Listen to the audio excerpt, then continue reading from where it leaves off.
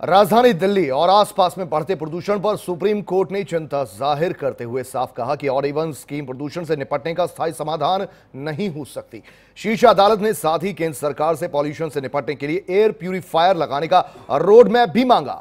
दिल्ली सरकार ने supreme court को बताया कि ऑड इवन के कारण दिल्ली में प्रदूषण के स्तर में पाँच से पंद्रह प्रतिशत की कमी आई है। सरकार ने कहा है कि अगर स्कीम में किसी को कोई छूट ना दी जाए तो और बेहतर परिणाम हो सकते हैं।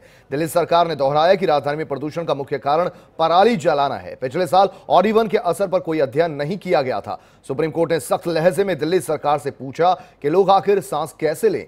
कोर्ट ने कहा कि प्रदूषण का बहुत ही बुरा असर पड़ा है। एयर क्वालिटी इंडेक्स एक्यूआई आज भी 600 के करीब है, जो कि इमरजेंसी हालातों को दरअसल बयां करता है।